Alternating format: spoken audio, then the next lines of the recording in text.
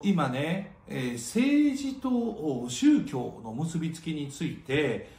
えー、いろいろと言われております。で、まあ NHK とは当然組織とつながりはないので、これは宗教だけじゃなくて、例えば、自治会とか、町内会とか、PTA とか、そういう組織とつながること自体をそもそも禁止してるんですね、NHK 党は。だから NHK 党は当然統一教会、旧統一教会ととかのつながりはないんですけども、これはもうないと明確に僕としては言い切れるんですが、どうして宗教の人が政治を手伝うのか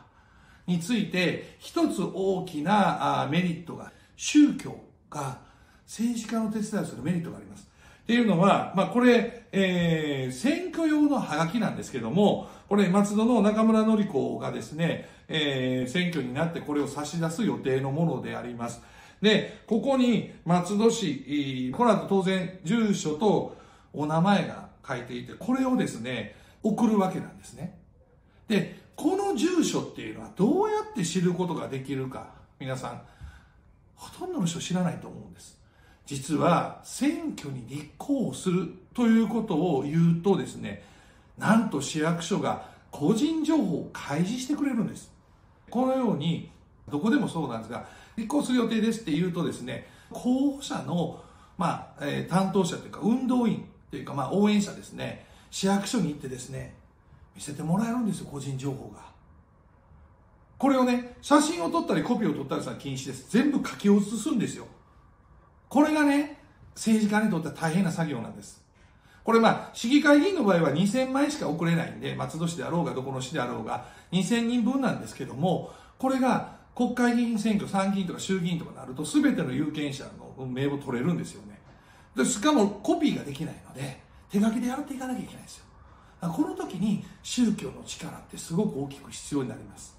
で、もちろんこの宗教の人たちがそこに来て住所や名前を書き写すっていうのはメリットがあって、宗教の人たちがそれを勧誘に使うっていうことが言われています。もちろん政治目的以外に使うことは禁止なんですけども、そんなの個人情報でどっから取ってきたかわからないじゃないですか。だから、宗教というのは政治と結びついて自分たちにとって有利な法律を作ってもらうという一つのメリット。これ公にされているメリットなんですが、実は